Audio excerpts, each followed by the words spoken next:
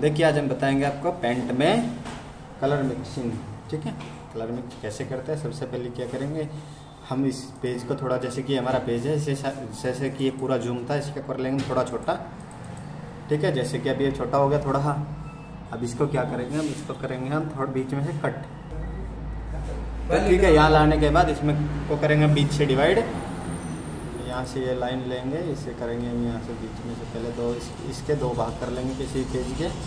सबसे पहले कोई भी सीनरी बनाने के लिए।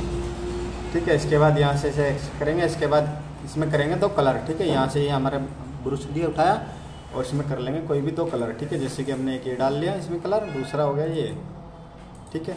तो ये हमने दो कलर डाल लिया इसके बाद करेंगे इसे कंट्रोल डब्लू ठीक है कंट्रोल डब्लू करने के बाद यहाँ से पे आएँगे हम पिक्सल पे पिक्सल पे आने के बाद यहाँ से करेंगे इसे मेंटेन मेंटेन करने के बाद इसे करेंगे यहाँ से हम ओरिजेंटल को बंद करेंगे, ठीक है? नीचे वाला जो इतना है, उसे उतना ही रहने देंगे, इसके बाद ये कैसे हो जाएगा। इसके बाद फिर दोबारा कंट्रोल डब्लू करेंगे, दोबारा करने के बाद फिर से पिक्सल में आएँगे। पिक्सल में आने के बाद इसे मेंटेन को पिक्चर हटाएँगे और यहाँ से जितना था, उतना डाल लेंगे, ठीक है? तो ये हमारा इस प्रकार से जैसे कि ये पिक्सल होगी हमारी ये पिक्सल बनने के बाद इसे करेंगे इसमें हम कोई भी सीनरी वगैरह बना सकते हैं, ठीक है? जैसे कि इसमें अगली वीडियो में हम दिखाएँगे इसमें सीनरी बनाना, पेंट में सीनरी कैसे बनाते हैं, ठीक है? इसे कर लेंगे हम थोड़ा सा बड़ा, ठीक है? इस प्रकार से हम कर सकते हैं।